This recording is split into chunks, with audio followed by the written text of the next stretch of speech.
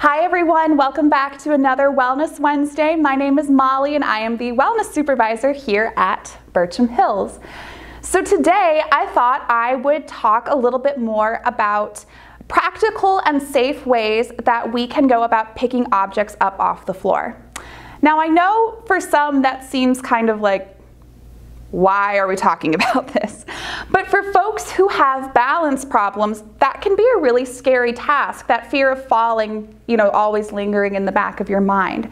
So this video will be probably pretty short, sweet and to the point, but hopefully it's educational and informational as well. So let's get started here. So let's say that I'm here in a seated position and I drop something on the floor, right?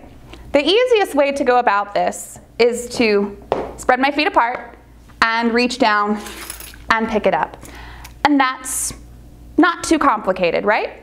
Now for some folks, there is a lack of flexibility that enables them to get down. And even for some folks, just that feeling of coming forward makes them feel like, oh my gosh, I might, you know, fall out of my chair here. So, some options you can explore.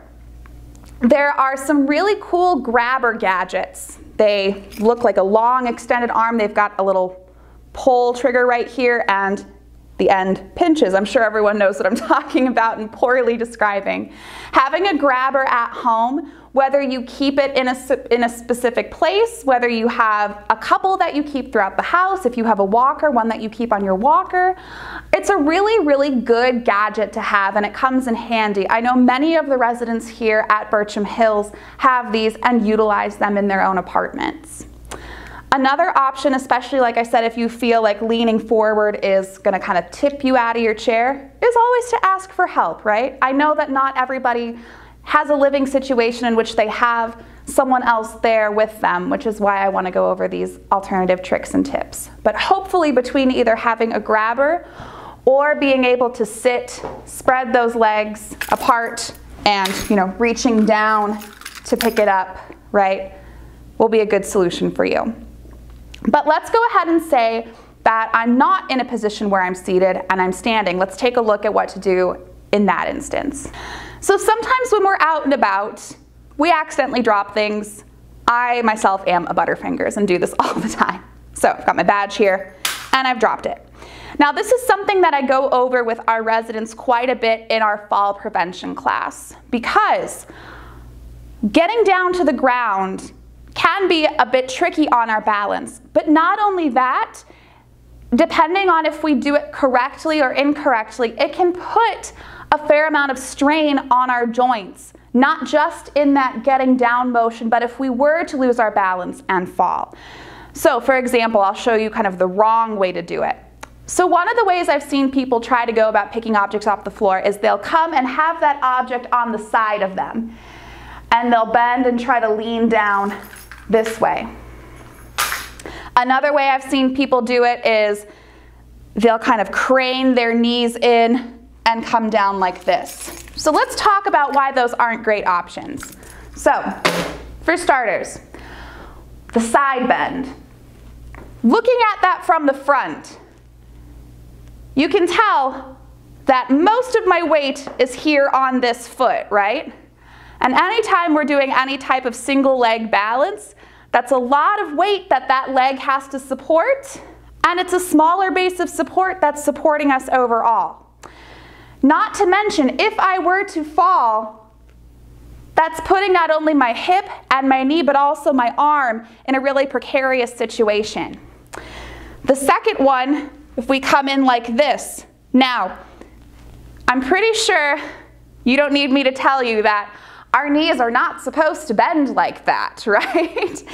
when we bend our knees, we want them to track forward over our feet, over our toes. When we're in this position here, if we were to lose our balance, that's already a ton of internal rotation on the hip.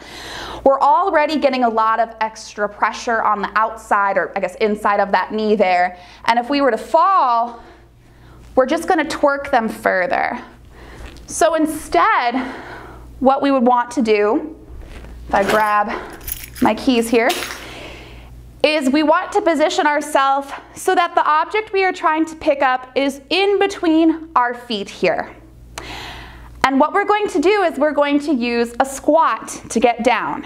So one of the things I like to reiterate in my balance class is that when we're squatting, we want to make sure that we're keeping our weight balanced not only from left to right, but from front to back. So Standing here, you can see that I'm balanced from left to right. I have equal amounts of weight on both my left foot and my right foot. So now if I were to turn, most people, when they initially try to squat, they end up in a position like this. And we've kind of maxed out the flexion of our ankles. We might start to feel some pulling in that quadratic tendon right there. And we're not really getting anywhere, right? So while you do want to bend your knees while you squat, you also want to bend at the hips. So whatever goes in front of my body also has to balance out in the back, right? So what that means is as I push my bottom back, I'm going to allow my shoulders to come forward again, so I'm staying balanced from front to back here. So I tell folks, pretend that there's a chair right behind you, right?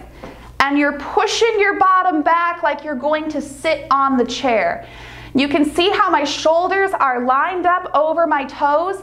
My back is pretty flat and I can even use my hands here for additional support. So while I'm in that squat position, I'm balanced again from left to right and from front to back. And I'm able to get down even further to grab here, right? Because of that balance, it's going to make it a lot less likely that I'm going to lose my balance, but in the case that I do, I'm in a position that's going to protect my joints a little bit more than the other two that I showed you. Now, obviously, if you have a walker, if you have a cane, if you have a piece of furniture nearby, and your balance is something that worries you, it is always a good option to put one hand on that stable object for support, like so.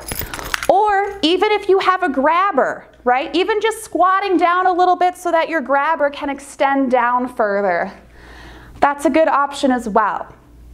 But the main thing I want you to take away from that is that if you're in a standing position, you need to pick something up off the floor, there's no one around to help, so something you gotta do, right? It's the remote, gotta change the channel. Line it up in between your feet.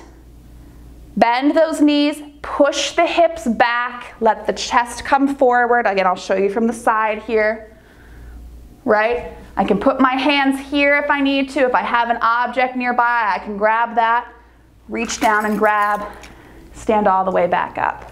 So, there you have it. I hope that those tips were helpful. I hope that you know you're able to take something away from this.